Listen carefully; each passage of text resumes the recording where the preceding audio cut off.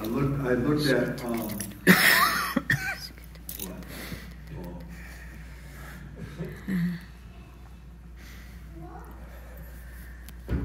Again, inspiration is leading to this revelation. And so just, I, I need to set this up and then I'm going to release the word of the Lord over you. But when I received Jack's email last night and when he said, when, when he, he said that he, he came to you for, for some guidance and different things, I'm not going to get into the details. Amen.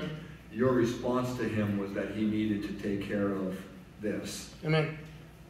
And I'm going to say to you, sir, that I haven't, and I've been at this for 21 years, I haven't had too many people move in that level of honor and respect that you moved in that. Amen. And it blessed me. And I looked at my bride and I said, that man just blessed me. Because when you sit in a place, sometimes in this place,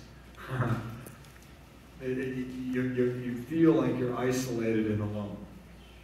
Okay? But last night I was like, that was honor.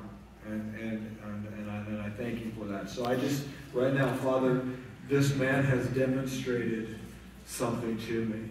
Your son has demonstrated something to me that marked me.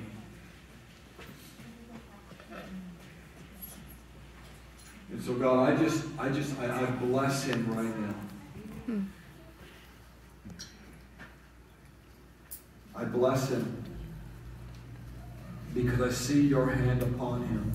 And I see him being lifted up into a place because of his humility, because of meekness, because of his servant's heart, because of his, his willingness to not be in the limelight, because of his, his desire to, to reveal you to others around him, because he knows what it's like to be in hell on earth. He knows what it's like to be overrun by negativity and darkness and, and, and trauma and things in his life. He knows what that's like, but experiencing the freedom of Christ in his life, Yes. there's a place of pure humility and pure meekness that he moves in. And Father, because of that, I see you actually lifting him above the mark, lifting him up above where he shall carry the heart of the Father and be able to be the father to the orphan and be the father to the one and uh, of the sons and the daughters that, that you are placing around him, to be a voice, to be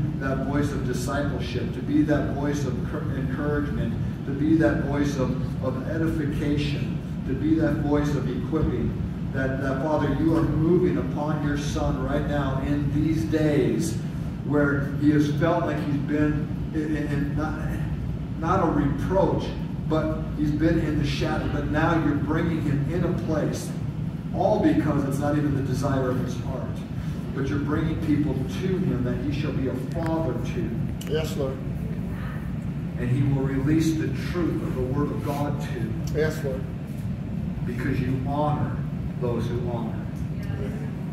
Amen. And so I just bless him right now in the holy name of Jesus Christ. Thank you, Jesus. Amen. Thank you. Amen. Amen. Deb, could you stand up, please?